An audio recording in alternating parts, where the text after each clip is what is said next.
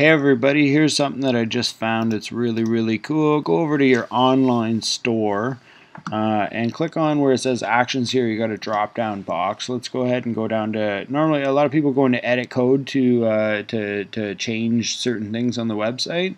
This could save you a lot of time here too. Go to edit languages.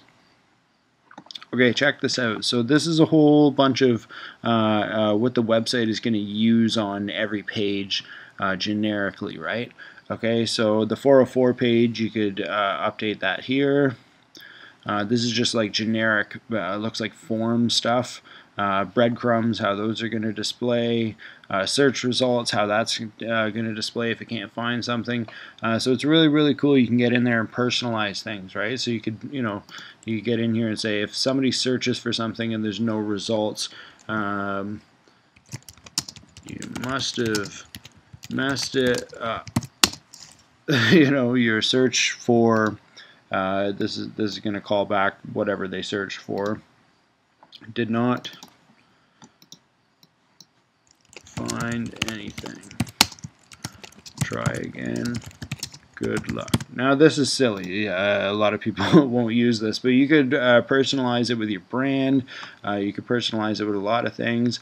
Uh, if you wanted to be a little bit more trendy with the way things appear uh, for your social links, for example, if you're going to share, it on Facebook, um, share with your friends, you know, uh, tweet it loud. I don't know. You could, until your heart's content, you could spend a lot of time in here. Product pages, you could update how those are going to display, your checkout area, your home pages, uh, how your maps are going to display. Uh, this is a really, really, really powerful section, and it can save you a lot of time if you're actually going into the edit code area like I was.